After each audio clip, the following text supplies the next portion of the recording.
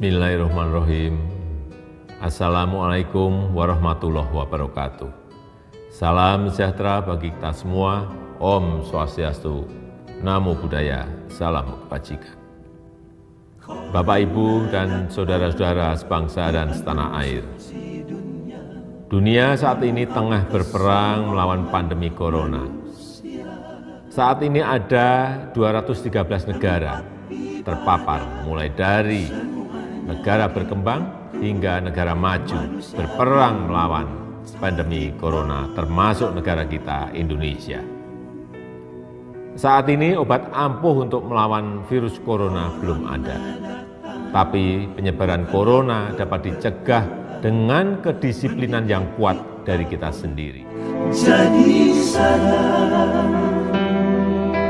anak dan istri, jabatan kekayaan, semua itu bukan milik kita. Namun saya juga melihat adanya kepedulian warga yang tumbuh di tengah kesulitan ini.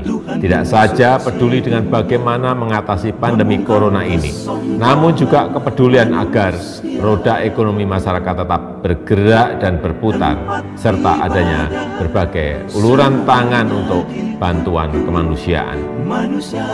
Cerita seorang warga yang bergejala COVID di dalam suatu lingkungan dan tetangganya saling membantu dan tidak mengucilkannya adalah contoh yang harus ditiru. Oleh karenanya, kegotong royongan harus terus kita gaungkan. Kepedulian warga juga terjadi di bidang ekonomi. Banyak yang membantu tetangganya dengan membeli produk yang dijualnya. Gerakan-gerakan saling bantu tersebut harus diangkat dimunculkan ke permukaan bukan untuk disombongkan tapi untuk menjaga harapan dijadikan sebagai inspirasi dan akan bermanfaat jika dapat ditiru ulang oleh yang lain secara masif.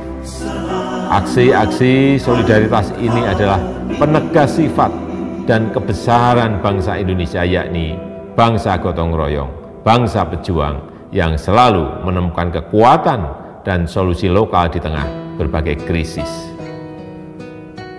Kita tunjukkan bahwa dalam kondisi di rumah saja kita tidak menjadi semakin individualis, tapi justru kita semakin peduli satu sama lain.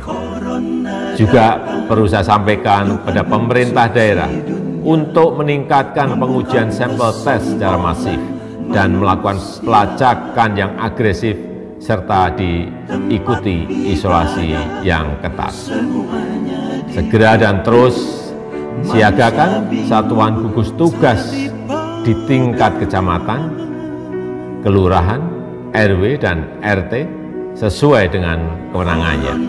Jika ada warganya yang bergejala terinfeksi virus corona dan juga bila ada yang membutuhkan uluran tangan harus segera dibantu. Ini semua bertujuan agar penanganannya terpadu dan terkoordinasi dan tidak ada yang terabaikan. Pemerintah tidak bisa bekerja sendirian, tidak bisa.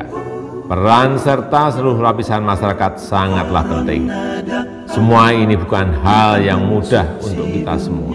Tetapi saya amat percaya jika kita mampu melalui kesulitan ini bersama, kita justru akan menjadi bangsa yang semakin kuat dan siap menyongsong masa depan yang lebih sejahtera.